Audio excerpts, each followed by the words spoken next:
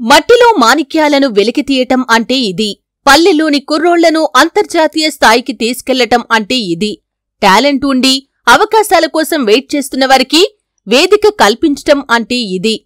ఇదయ్యా జగన్ అంటే జగన్ విజన్ అంటే ఆడుదాం ఆంధ్ర అంటే అందరూ ఆడిపోసుకున్నారు.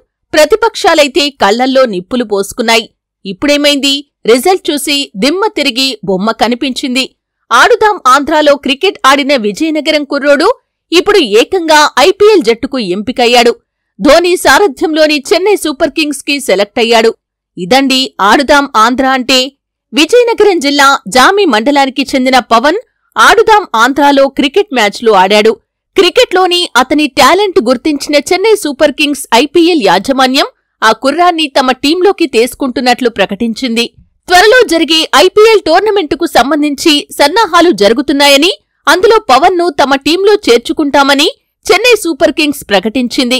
చెన్నై తీసుకెళ్ళి మంచి శిక్షకులతో ట్రైనింగ్ ఇప్పించి భవిష్యత్తులో జట్టులోకి తీసుకుంటామని ప్రకటించటం ఆడుదాం ఆంధ్ర గొప్పతనాన్ని చెబుతోంది.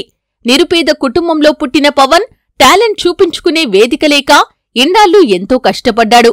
ఆడుదాం ఆంధ్ర క్రికెట్ జట్లలో ఆడి తన సత్తా చూపించి ఏకంగా చెన్నై సూపర్ కింగ్స్ యాజమాన్యం దృష్టిలో పడ్డాడు. ఆడుదాం ఆంధ్రాలో పాల్గొని సత్తా చూపటంతో తనకు ఈ అవకాశం వచ్చిందని పవన్ అంటున్నాడు. తనలాంటి గ్రామీణ క్రీడాకారులకు ఈ క్రీడా పోటీలు ఎంతో ఉత్సాహాన్ని ప్రోత్సాహాన్ని ఇస్తున్నాయి అంటున్నాడు పవన్.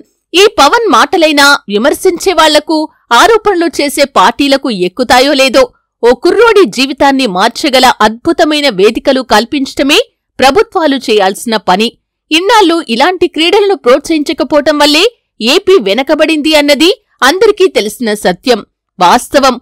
ఇప్పటికైనా చంద్రబాబు కళ్ళు తెరిచి నిజాన్ని చూస్తే వాస్తవాన్ని అర్థం చేసుకుంటే మంచిది కదా?